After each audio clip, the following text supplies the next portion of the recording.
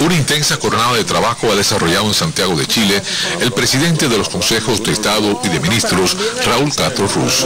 En la agenda se destaca el encuentro bilateral que sostuvo con la presidenta de Costa Rica, Laura Chinchilla, en el Centro de Convenciones Riesgo, donde intercambiaron acerca de los proyectos de la CELAT, ahora que los dos países junto a Chile formarán parte de la Troika.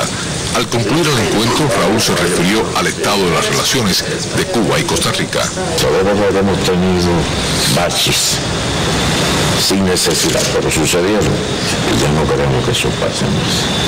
Hemos trazado las relaciones de todos los puntos de vista, respetando nuestras cuestiones internas de cada país y fomentar que sea posible de relación cultural, económica, comercial, de todo tipo.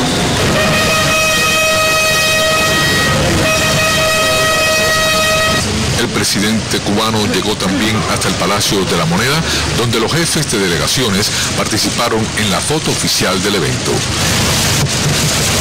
En ese histórico lugar, Raúl visitó el despacho de Salvador Allende, acompañado del vicepresidente ejecutivo de Venezuela, Nicolás Maduro, y otros dirigentes de la República Bolivariana y Cuba. Desde Santiago de Chile, Talía González y Borifuentes, Sistema Informativo de la Televisión Cubana.